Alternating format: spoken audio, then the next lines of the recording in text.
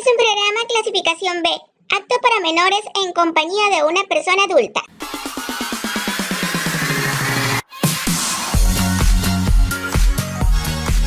Hola, hola, ¿qué tal? Donde me estés viendo, bienvenido a un programa más de Habla Ahora. Y en esta ocasión, tal como me ven, estoy Halloweenesca. Sí, he dado mi estilo semi-vampirina, claro, el estilo Anguita.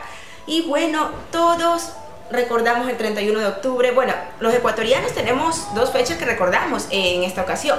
31 de octubre se celebra el Día del Escudo Nacional nuestro, y por supuesto la fiesta extranjera que es el Halloween. Pero bueno, en realidad todo el mundo está celebrando Halloween. ¿Qué hacen? El trato truco, que pedir caramelos tocando puerta a puerta, que disfrazarse y un sinnúmero de cosas más.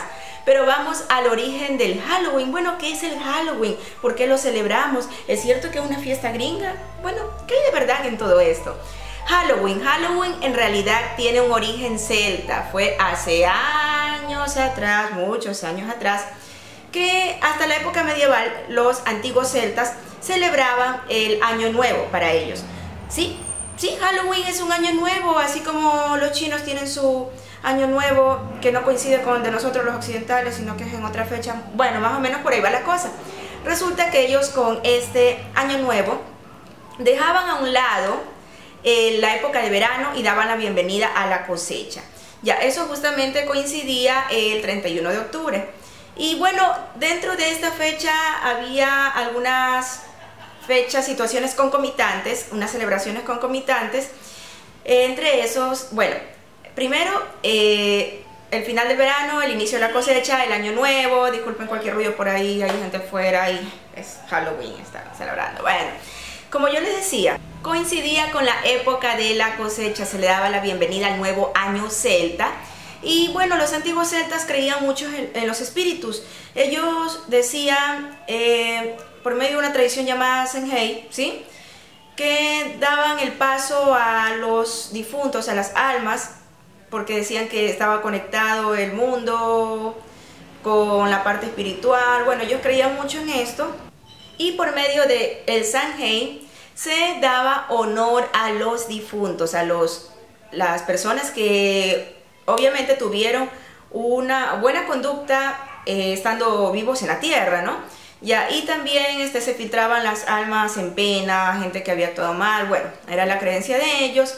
Pero bueno, ellos se centraron en querer darle honor a aquellos familiares que habían fallecido y empezaron a darle ciertos honores, ciertas ofrendas a los difuntos. Ahora, ¿qué pasó más después? Resulta que luego se fusionan las culturas celtas con la romana. Y como ustedes saben, los romanos eran católicos, entonces ellos tenían sus tradiciones cristianas. Y bueno, dentro de eso tenían que el 13 de mayo se celebraba a nivel católico el Día de los Fieles Difuntos. Sí, claro que sí el Día de los Difuntos y bueno, como se fusionaron ambas culturas, desearon los católicos tratar de conquistar a los paganos, mundanos, celtas, ¿verdad? Tal es así que cambiaron el 13 de mayo, que era la fecha romana, y la trasladaron al 31 de octubre, que era la fecha celta, para que coincida, y prácticamente hicieron fusionar el día de la víspera, de ahí viene el nombre de Halloween, ¿sí? Que es el de la víspera a los difuntos. Entonces, el 31 de octubre es en realidad el día, no es el día de las brujas, no es el día de andar hecho el terrorífico, sino que el 31 de octubre es la víspera para rendir homenaje a los fieles difuntos. Hay en países como México que celebran el Día de Muertos. Bueno, y acá en el caso de Ecuador y en algunos países el 2 de noviembre es considerado el Día de los Fieles Difuntos, donde recordamos a nuestros seres queridos que han partido al más allá.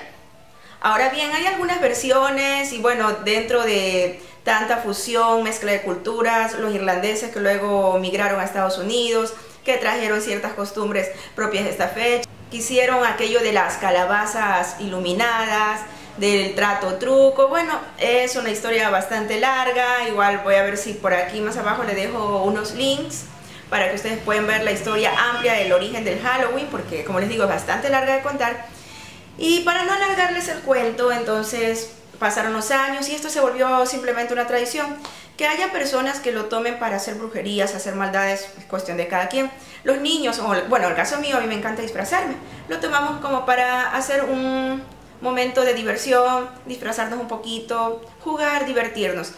Muchos creen que de pronto esta es una fiesta diabólica, otros creen que simplemente es pura diversión, en fin, tú tienes la última palabra. Y bueno, ese es el origen del Halloween, ¿sí? Otros decían que el 31 de octubre las almas salían de sus tumbas y que ya el 2 de noviembre se les rezaba para que se calmaran, por eso el 2 de noviembre se lo escogió como Día de los Fieles Difuntos. En fin, hay algunas versiones. Lo cierto que sabemos es que todas estas fiestas del mundo en general son tradicionales, tienen su origen de diversas partes, se mezclan las culturas, tal como el caso de la Navidad. Eh, muchos consideran que es una fiesta gringa, otros dicen que es una fiesta cristiana, en fin, es una fusión de costumbres, ¿sí? una fusión de culturas. Y bueno, sin, sin más preámbulos, ¿qué les parece si vamos entonces a ponernos un poco terroríficos? ¿sí? Y bueno, muchos muchas personas en esta fecha, Halloween 31 de octubre, empiezan a contar cuentos de ultratumba. Pero hay leyendas, hay cosas que no se sabe si sucedieron de verdad o son mentiras. Bueno, usted tiene la última palabra. Así que a continuación los voy a dejar con un cuento de terror.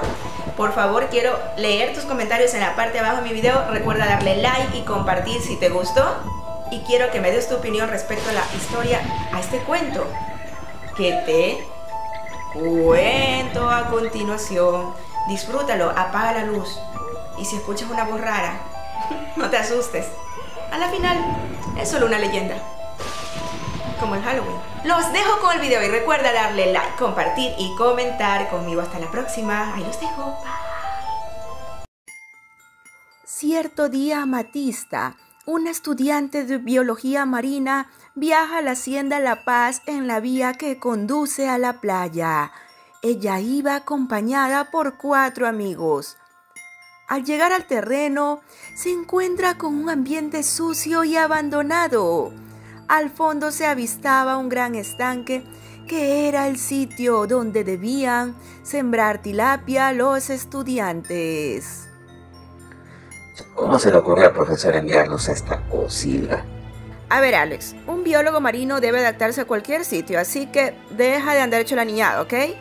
Amatista tiene razón, así que, loco, ya bájale. A ver, dejemos de perder el tiempo en tonterías y hagamos nuestro trabajo. Jesse tiene razón, chicos. Procederé a limpiar el estanque y ustedes vayan preparando las larvas y todo lo demás. Amatista se acerca hasta el estanque el cual lucía lleno de lama, agua turbia y con un olor putrefacto. Parece que no han venido a este sitio siquiera un siglo. veré qué puedo hacer. Al asomarse, Amatista logra ver una imagen de un rostro femenino que se disipa inmediatamente. ¡Ah! ¿Qué es eso, Dios mío? Ayúdame. Sálvame, por favor, que me estoy ahogando. Esa misteriosa y macabra voz provenía del fondo del estanque. Amatista, sin dudar, se dispuso a ayudar a la supuesta mujer en peligro. Pero, ¿cómo alguien podría ahogarse en un estanque de un metro de profundidad? Señora, tranquila, no se preocupe. Ahora mismo la rescato.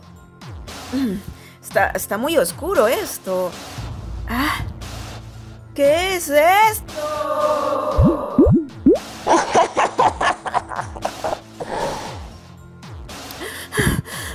Debo volver con Belzebú. Debo regresar a mi padre para cumplir una misión. He padecido 400 años aquí y al fin pude encontrar mi reemplazo. Amatista quedó desconcertada al haber entrado a un lugar misterioso, lúgubre, una especie de desierto muy oscuro, cual medianoche, matizado con destellos rojos como sangre fresca. Inmediatamente aquella voz misteriosa, que era una mezcla de una bruja con monstruo de las profundidades marinas, desaparece.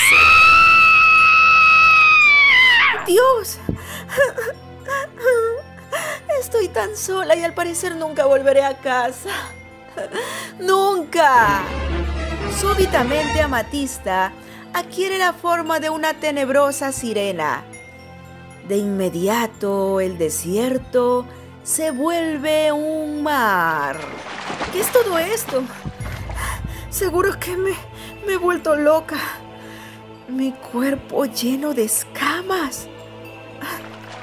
Puedo bucear sin problemas. Tengo que encontrar la salida. El tiempo transcurría y Amatista continuaba desesperada. Puedo divisar la piscina. Apenas han pasado ocho horas. Deben ser ya las cinco de la tarde.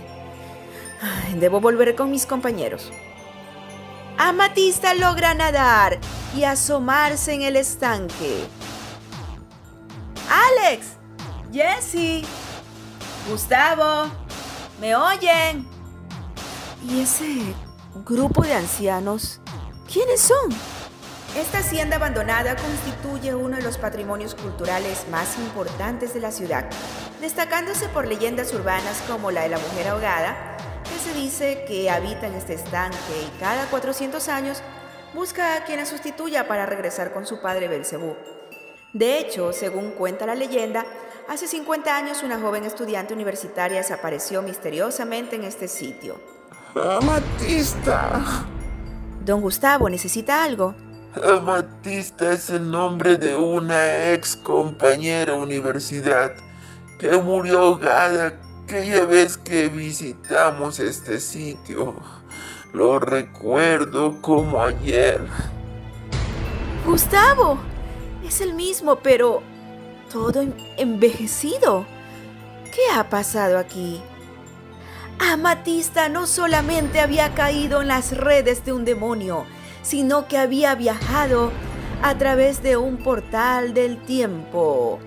Para ella habían pasado ocho horas, pero para los demás, 50 años. Así que recuerda que si llegas a encontrar una hacienda abandonada en la vía a la costa, ten mucho cuidado, porque podrías encontrarte con Amatista y quizás podrías convertirte en su sucesora, la nueva reina del estanque.